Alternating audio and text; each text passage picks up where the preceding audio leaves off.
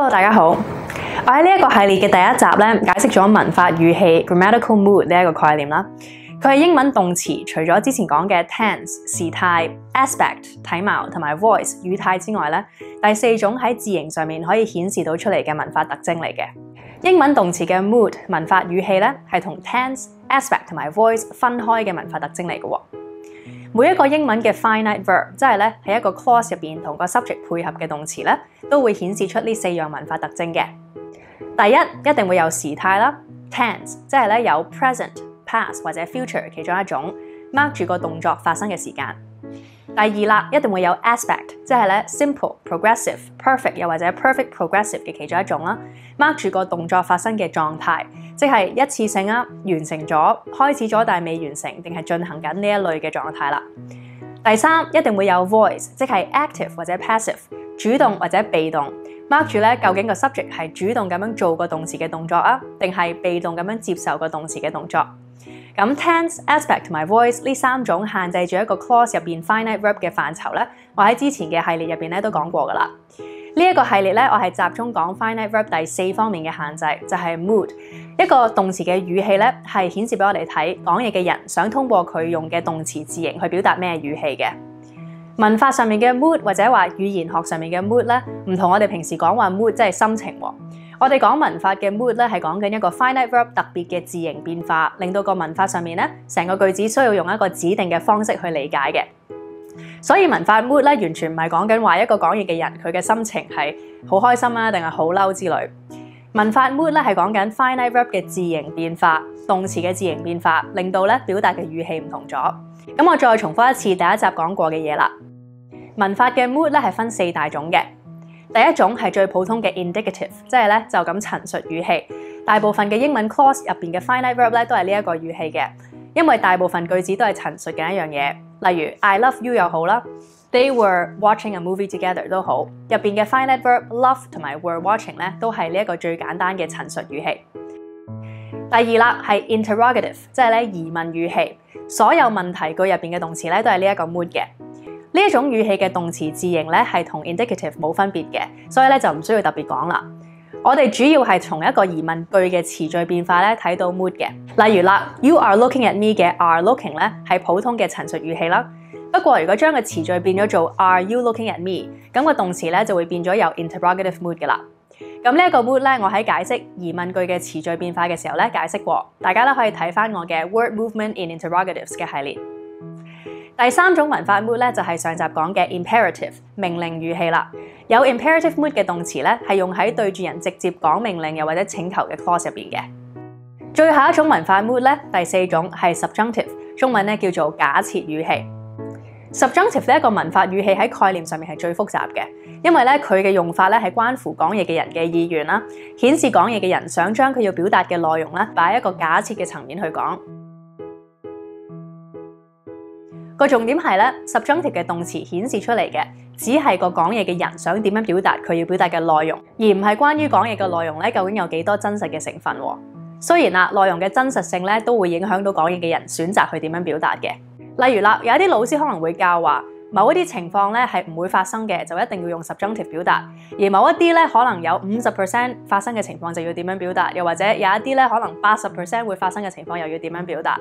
但係其實咧咁樣諗語言嘅話咧係冇意思嘅，因為語言同埋現實咧講到底都係兩個層面嘅嘢嚟噶嘛。語言咧只係一個抽象嘅表達現實嘅方法，我哋係冇需要去逐樣現實入邊發生嘅事去諗話呢樣嘢會唔會發生咧？有幾多機會會發生咧？然後先至再諗用唔用 subjunctive 去表達佢嘅，因為呢一啲會唔會發生又或者幾多 percent 發生嘅考慮咧，永遠都係模棱兩可嘅。喺語言同埋文化嘅層面咧，呢啲係不切實際嘅問題嚟嘅。唯一有意義嘅問題就係講嘢嘅人，即係咧用語言想表達意思嘅人，佢想點樣用動詞嘅字形去表達佢想講嘅嘢。咁大家只要明白呢一個比較哲學性嘅概念，明白誒、呃、現實同埋語言係兩個層面嘅嘢咧，就唔會覺得 subjunctive 嘅文法 mood 難用噶啦。大家諗下啦，如果我今日睇到天氣預報話聽日會落雨，我再同個朋友講話 It will rain tomorrow。我用嘅 finite verb will rain 係有 indicative 陳述語氣嘅，係一個 simple future tense 普通嘅簡單未來式嘅陳述語氣嘅動詞。一般咧陳述語氣嘅動詞咧係用嚟表達現實發生嘅事嘅。咁我用咗 indicative mood，代唔代表聽日一定會落雨呢？當然唔代表啦。呢一個用 indicative mood 嘅 finite verb 嘅選擇咧，係我作為講嘢嘅人做出嚟嘅。呢一個有陳述語氣嘅動詞，只係咧話俾聽我講嘢嘅人知，我講呢一句説話嘅時候咧，係想當佢係事實咁樣表達嘅。用 indicative mood 嚟講咧，當然唔係話聽日一定會落雨，因為我咁講咗。我點講咧係我嘅選擇嚟嘅，選擇用乜嘢嘅文法 mood 係我表達語氣嘅方式。聽日最終落唔落雨咧，都同我喺呢一刻想用 indicative 呢一個 mood 講嘢咧，當佢係現實咁表達咧，係冇關係嘅。咁大家要有呢一個概念咧，先可以開始研究 subjunctive 呢一個假設語氣嘅。再講一次啦，subjunctive 呢一個文法 mood 咧，係動詞嘅字形變化上面顯示，令到個意思包含假設嘅成分。中文同埋歐洲語言嘅動詞最唔同嘅地方呢，就係中文嘅動詞係唔會變字形去表達唔同嘅 tense、aspect、voice 同埋 mood 嘅。不過呢，咁樣唔代表中文係冇呢啲概念喎。咁當然有啦，因為全世界所有嘅語言都係平等嘅。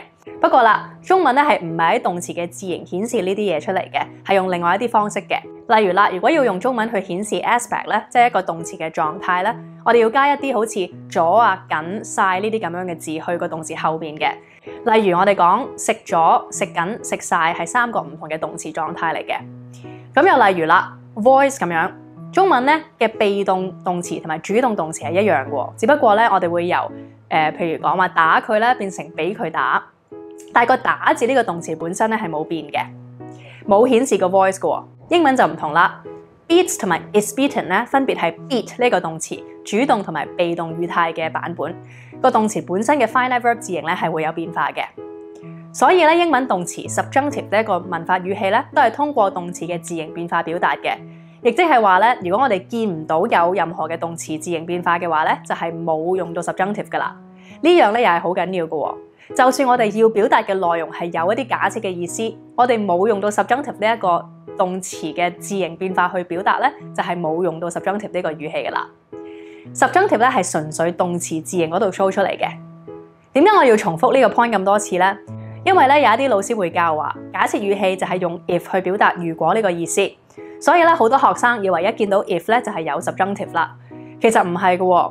，if 咧只係一個連接兩個 clause 嘅連接詞，咁啱咧係有如果呢個意思啫。所以咧經常會同咧 subjunctive mood 嘅 finite verb 一齊用。不過咧其實 subjunctive 係純粹係動詞字形上面表達嘅。同 if 呢個連接詞咧，只係有間接關係嘅啫。就算我哋用咗 if 做連接詞去駁住兩句 clause 咧，入邊都未必一定要用 subjunctive 嘅動詞嘅。例如啦，If it rains tomorrow, I will stay at home 呢一句講話，如果聽日落雨咧，我就會留喺屋企啦。呢兩句 clause 嘅 finite verb rains 同埋 will stay 咧，其實都係 indicative mood 嘅。rains 係普通 indicative 嘅 simple present tense 啦，而 will stay 咧係普通 indicative 嘅 simple future tense。呢兩個動詞咧都係冇用到 subjunctive 語氣嘅。咁大家消化一下 subjunctive mood 嘅概念先，記住啦，呢、一個文法語氣咧，純粹係喺 finite verb 嘅字形顯示出嚟嘅。用 subjunctive 嘅文法語氣咧，係講嘢嘅人嘅選擇，令佢講嘅嘢咧搬到一個假設嘅層面嗰度表達。